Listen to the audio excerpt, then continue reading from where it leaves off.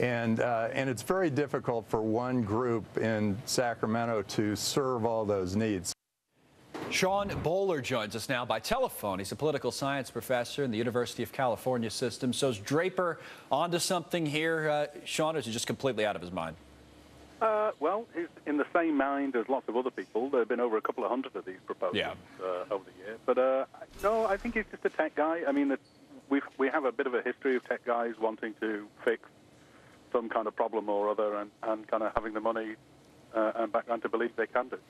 That point about having the money, is there anything, uh, even if you don't expect, you know, six new states to emerge out of this, is there anything maybe that would come of this just because, you know, a guy like Draper keeps it going, keeps the conversation going? Is there any changes that he can enact, or is it just a waste? Uh, probably just a waste. I mean, it's going to be great if you're in the political campaign industry. It's going to be a payday. You can take his money. You can run his ads. Uh, that's going to be good, good news. Uh, that'll create jobs there. But uh, beyond that, it just seems unlikely to be able to go anywhere. I agree with that part. It does bring up this larger discussion of wh- what do we want? What is our goal when we're forming a state? I mean, California, uh, we live in New York, it's a big state. California, it's a huge state.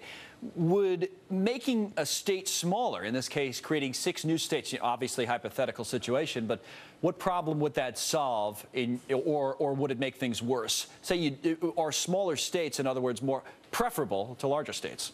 Boy, you know, that depends on who you ask and whether you live in one. I mean, um, Yeah. this is one of those kinds of solutions looking for a problem. I mean, we have 50 states. We have, you know, little ones that range from just over half million to uh, California, which is just under 40 million. And, and you know, it, you kind of look at this big diversity and you look at this range of states, the different Right. regulations, of, and it's, it's kind of hard to say, you know, oh, we should all be the same size as Kentucky or Delaware or something. Right. It's just not obvious right from the get-go what is a perfect size The- for the state. the diversity almost uh, makes it better and creates opportunity for many people. And we've done a number of different stories related to that in one way, shape, or form. Some of them are say, hey, you don't want to pay the state taxes in X state, move to Y, or whatever the case may be. The idea that you have the choices within such a large country that you can, you know, choose different states that are not all the same, I mean, creates opportunity, don't you think, for a lot of people? Yeah, it does. I mean, there's, there's lots of choice for the 50 states. I mean, I mean, I'd hate to see somebody leave the state, but he, I mean, he's perfectly free to go to